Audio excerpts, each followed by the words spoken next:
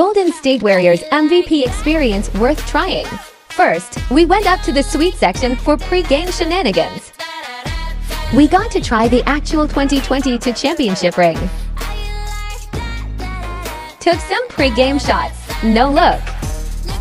Can't leave without taking a picture with the O'Brien trophy. Checking if I like the photo. Next up, we walk towards our suite to grab some food before the game start. Walking to our suite, this is me cheering for JP. This was Dame Dolla's last game as a Blazer. JK, we finally head down to the court. So surreal being down here. Brian was up first. He made five shots from three.